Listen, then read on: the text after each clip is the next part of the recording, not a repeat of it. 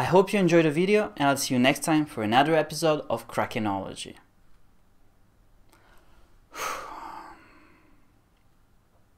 I need a break. Hmm. Both not included.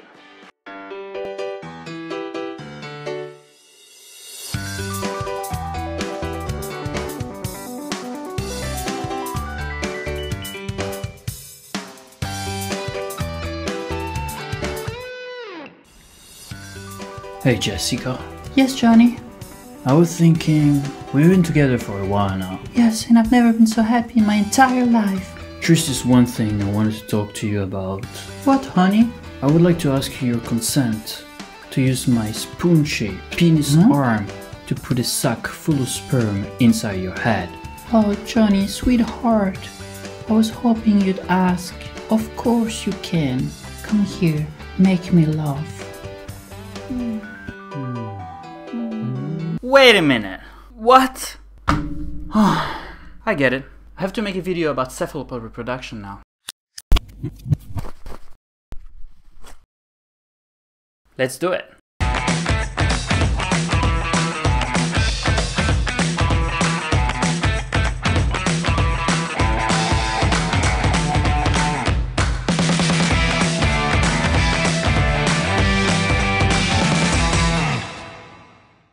Cephalopod reproduction. And I know what you're thinking.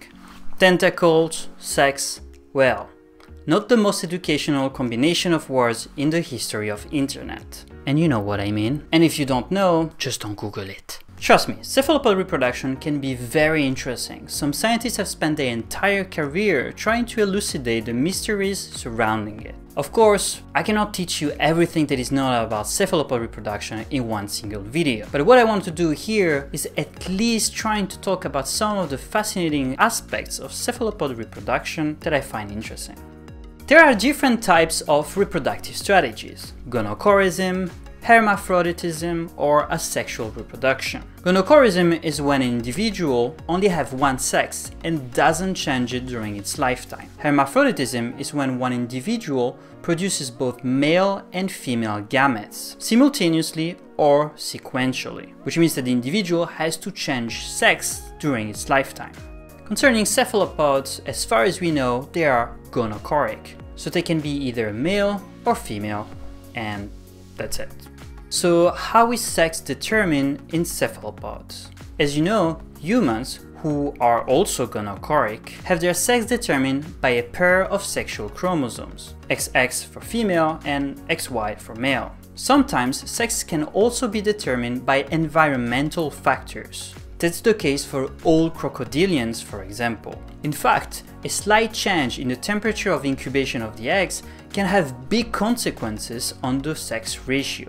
Concerning cephalopods, their genome didn't seem to show evident differences between male and female, at least at the chromosomal level. And we also don't know if their sex can be determined by environmental factors. So, can we at least see any morphological difference between male and female? The short answer is yes, but it really depends on the species. Some cephalopods do show extreme sexual dimorphism. It's the case for the argonaut, for example, which is an octopus that secretes its own shell. The size of the male argonaut is around 5 to 10% the size of the female. So it's pretty easy to differentiate them. But the problem is that you have to find the male. The shell secreting female has been known for millennia, but the teeny tiny male has only been discovered in the 19th century. And what's interesting here is that the penis of the male was discovered before the male itself. Let me explain. So what I call the penis is technically not the penis. It's a specialized mating arm that the male uses to pass the sperm to the female. So now imagine for a second, your arm has evolved into a spoon-shaped penis.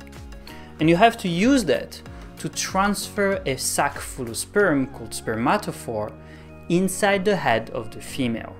What I find fascinating about this specialized mating spoon-shaped penis arm is its particular name. Back in the 19th century, the naturalist Georges Cuvier found what he thought was a parasitic worm inside the body of a female argonaut. He called it Hectocotylus, which means a hundred suckers, and he really believed he just found a new species of worm. Turned out that was only the penis of a male argonaut, which broke off and remained inside the female. The Hectocotylus is actually 10 times as long as the body of the male argonaut. I just found a new species of worm. One, two, three, four, five, a hundred. I'm gonna call it. Can I have that back, please? Hmm. Aren't you an Argonaut? Yes, and that is my penis. Oh. Ugh. Isn't this supposed to be 10 times the size of your- Give it back to me! Not only the Hectocotylus is helpful to differentiate male and female, as its structure is species specific, can really help into differentiating one species from the other. Sometimes its shape and length are different from other arms, and the suckers on the Hectocotylus can be smaller or absent. Before copulation itself, some cephalopods show complex courtship behavior. As I understand it, this courtship behavior is more frequent in decapods like cuttlefish or squids, and less in octopuses. Octopuses are terrible at flirting.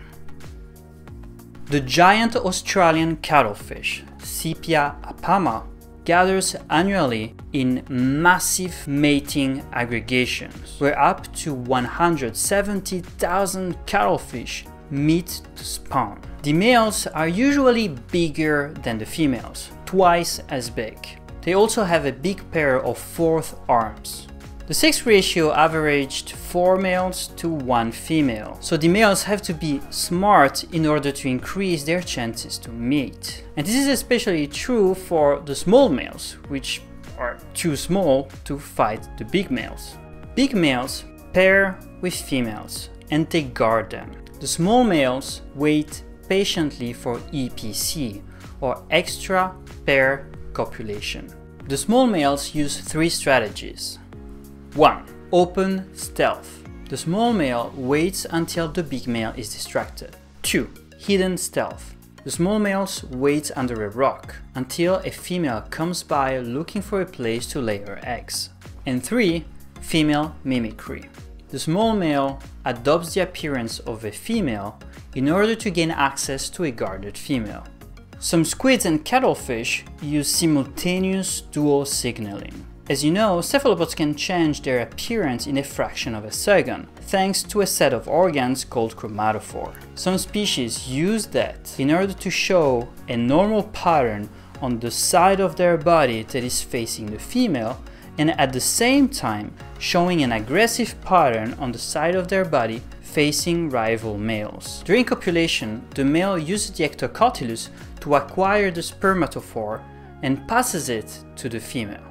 But how does it work exactly? Let's ask the experts. So, if mating is happening in a parallel position like this, the sperm is then stored inside the mantle of the female. If mating is happening in a mouth to mouth position like this, well, um, the sperm is stored in a seminal receptacle close to the mouth. The female can store the sperm for several months before using it. Are we, are we done yet? The life of a semelparous organism is characterized by one single event of reproduction. On the opposite, an iteroparous organism goes through multiple cycles of reproduction during its lifetime. So what about cephalopods?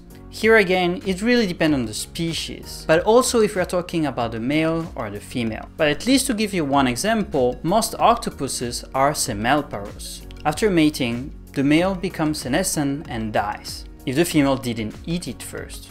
And yes, that can happen. After mating, the female lay eggs and all she does is just taking care of them until her last breath. And sometimes she doesn't even eat in that period. Cephalopod eggs can have different size, shape and color, but most of them are enclosed within a capsule.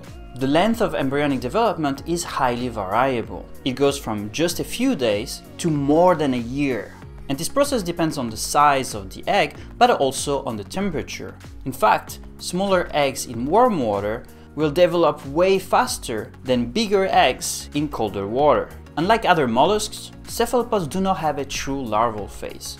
Instead, the hatchlings really look like tiny and cute adults. Those guys, they grow fast and they die young. This strategy, coupled with their developmental plasticity, might be how they adapt faster and better than other animal groups. That's it for today. I hope you enjoyed the video and if you did, please like it, share it.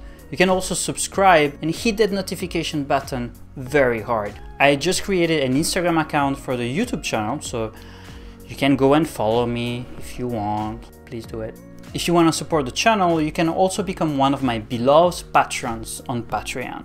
Otherwise, you can just go and do some shopping on my online store. I just created some cool designs, like a very cute tardigrade in space and a demon inside a broken ribcage.